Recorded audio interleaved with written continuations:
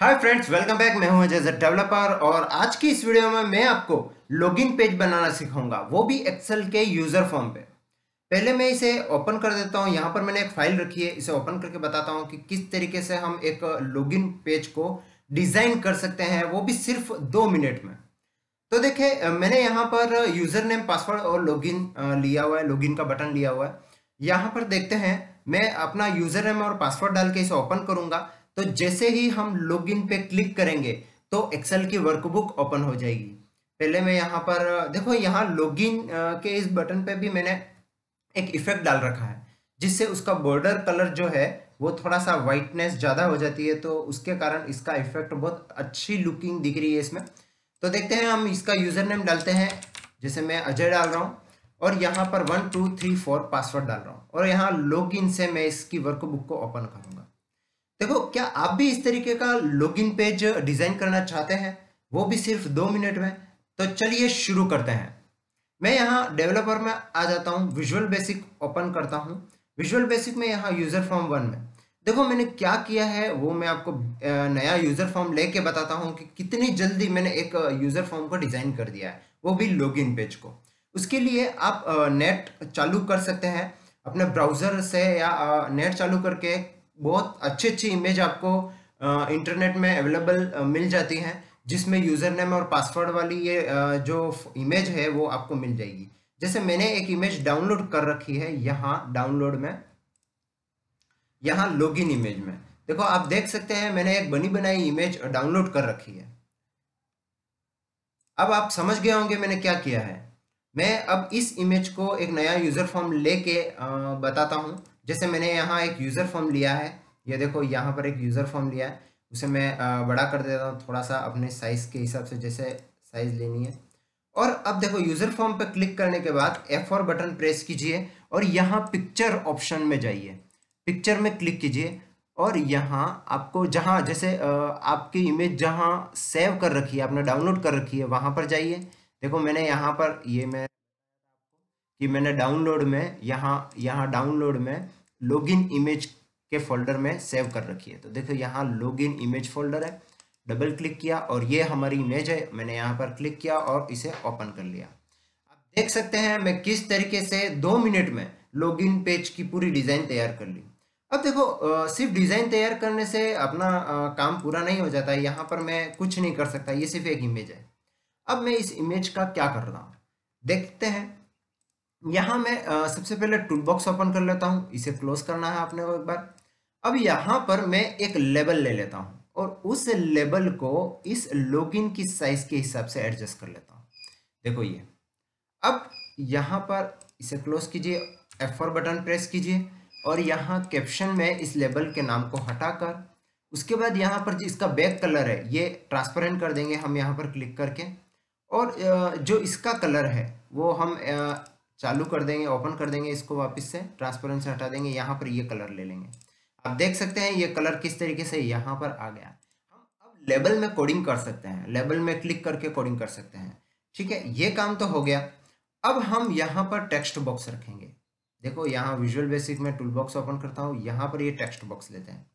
अब हम text box की डिज़ाइन करेंगे। देखो, इसके नाप के हिसाब से ही हमें रखना होगा ताकि अपने को दिक्कत नहीं आए। यहाँ एफ़ फोर से मैं यहाँ पर इसकी थोड़ी सी डिज़ाइन को चेंज कर देता हूँ। जैसे इसमें कैमरिया फंट ले लिया उसके बाद बोल्ड और ये फोर्टीन इसकी साइज़ कर दी। देखा रन करके एक बार देख लेते हैं इसकी साइज़ बराबर है। थोड़ी सी बड़ी करनी पड़ सकती है। तो मैं इसकी साइज़ ले लेता हूँ अट्ठारह और थोड़ा सा इसको बड़ा कर देता हूँ।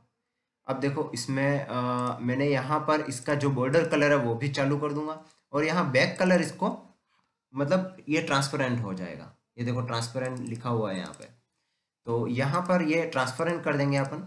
अब देखो यहाँ रन करके देखते हैं। देखो बिल्कुल बीच में नहीं आ रहा, ये सेंटर में नहीं आ रहा। तो इसको थोड़ा सा ऊपर खिसकाने के लिए हम यहाँ कस्टमाइज में जाएँगे और यहाँ थोड़ा सा नीचे करेंगे और यह टॉप पे। मैं यहाँ पर 194 कर दूँगा ताकि वो थोड़ा सा ऊपर चला जाए।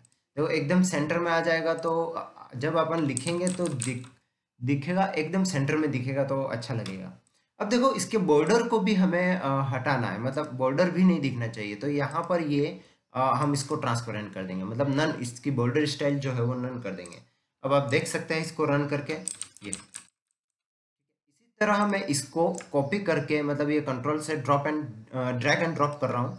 तो यहाँ पर भी है और यहाँ पर भी है। इसको फिर से रन करके देखते हैं। देखो ये। आप समझ गए होंगे कि यहाँ पर एक टेक्स्ट बॉक्स रखा हुआ है जो दिख नहीं रहा। मैं उसको वापस से इसकी ट्रांसपेरेंसी हटा के बता रहा हूँ। ये टेक्स्ट बॉक्स रखा हुआ है। जो हाइड है, यहाँ पर ये टेक्स्ट बॉक्स वन नाम है, इसका टेक्स्ट बॉक्स टू नाम है। हमने इसको ट्रांसपेरेंट कर दिया है। ये, इसके बॉर्डर और बैक कलर को बिल्कुल ही हटा दिया है। दिख नहीं रहा। अब देखो यहाँ पर लॉगिन पेज में भी कुछ कोडिंग करेंगे हम। आ, उससे पहले मैं यहाँ पर कोडिंग करूँगा कि टेक्स्ट बॉक्स में अपन जैसे लिखते हैं ये आ, जैसे मैंने अजय लिखा मैं अपना यूज़र नेम रख रहा हूँ अजय। और यहाँ पर जब पासवर्ड लिख रहे हैं वन टू थ्री फोर तो ये पासवर्ड दिखाई दे रहा है। तो हमें ये पासवर्ड दिखाई नहीं देना चाहिए उसके लिए हम क्या करेंगे यहाँ पर क्लिक करके यहाँ पर आ, ये जो प्रॉपर्टी बॉक्स है उसमें आ जाएँगे। और यहाँ पर हम देखेंगे ये पासवर्ड कैरेक्टर मतलब पासवर्ड चार में हम अगर स्टार लगा देते हैं देखो यहाँ टेक्स्ट बॉक्स को सेलेक्ट किया हुआ मैंने स्टार लगा देते हैं और एंटर कर देते हैं। अब देखो अब मैं यहाँ पर अजय लिख रहा हूँ तो वो नाम दिखाई दे रहा है पर मैं वन टू थ्री फोर लिख रहा हूँ तो वो स्टार ही दिखाई दे रहा है। तो इस तरीके से एक पासवर्ड का लुक आ जाता है इसमें। उसके बाद अब हम आ जाते हैं यहाँ पे। हमें आ, क्या करना है? यहाँ पर डबल क्लिक करेंगे और यहाँ क्लिक करके जाएँगे अंदर कोड में और लिखेंगे कि इफ़ अगर यूज़र फॉर्म जो है आपका, जैसे टू है तो टू उसमें टेक्स्ट बॉक्स वन में। यूज़र फॉर्म की स्पेलिंग गलत आ गई तो सही नहीं बताएगा। यहाँ टेक्स्ट बॉक्स देखें user F O R M user form two dot text box text box one की जो वैल्यू है, वो क्या आनी चाहिए?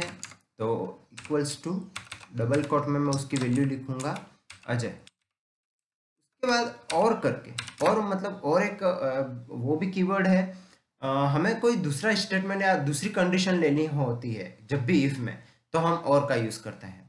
जैसे मैं यहाँ पर लिखूँगा user form two dot text box sorry थोड़ी सी स्पीड की वजह से गलत हो गया। डॉट वैल्यू और इक्वल्स टू यहाँ पर जो पासवर्ड है वो डालूँगा मैं। वन टू थ्री फोर उसके बाद देन देन करके यहाँ पर एंड इफ़ अब एंड इफ़ के बीच में क्या होना चाहिए? देखो यहाँ पर ये कोड अलग है।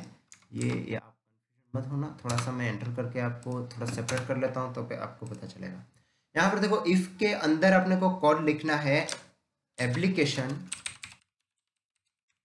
dot visible equals to true अगर ये कंडीशन अप्लाई हो जाती है तो हमारी एप्लीकेशंस दिखनी ही चाहिए।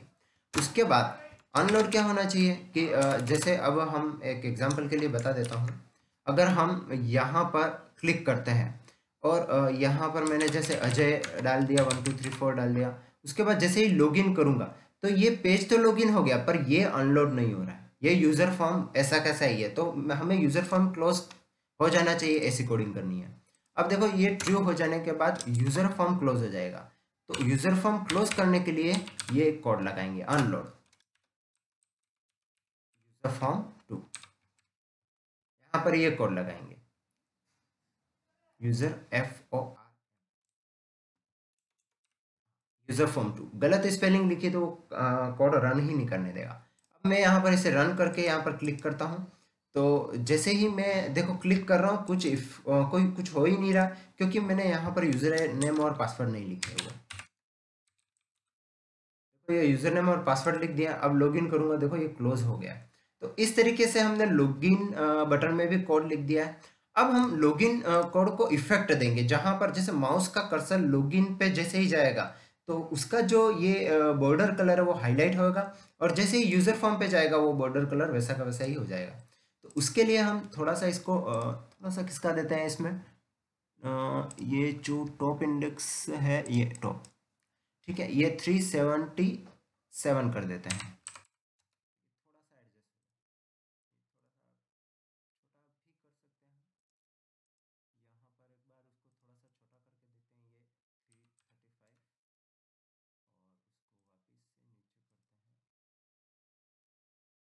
थोड़ा आप अलाइनमेंट सीख जाएँगे, उसके बाद